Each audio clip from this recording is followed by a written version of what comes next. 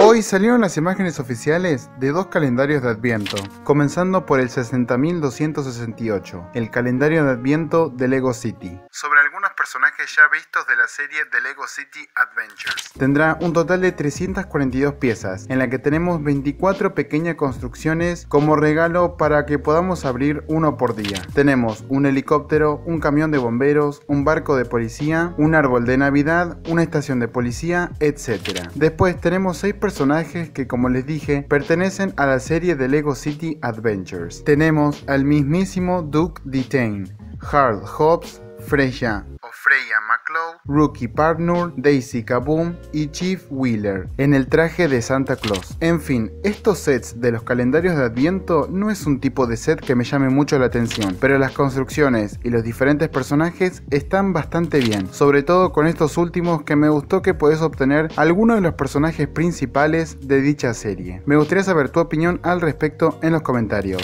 Estará disponible a partir del mes de septiembre y su precio será de unos 19,99 dólares.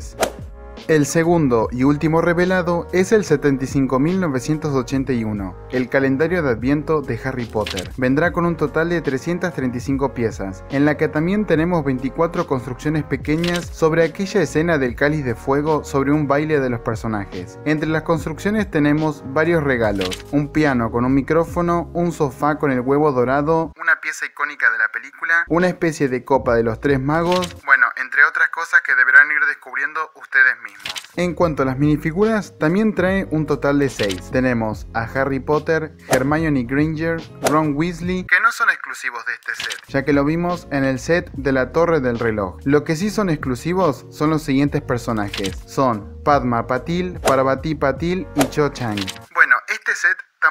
Me llame mucho la atención. Las construcciones están muy bien y las minifiguras, tres de ellas las podemos conseguir en otro set, pero como les dije, las otras tres son exclusivas de este mismo. Así que si querés coleccionar más personajes del universo de Harry Potter, tendrás que obtener este conjunto. Pero me gustaría saber tu opinión al respecto con este set abajo en los comentarios. Su fecha de salida también estará para el primero de septiembre, pero su precio será de unos 29,99 dólares.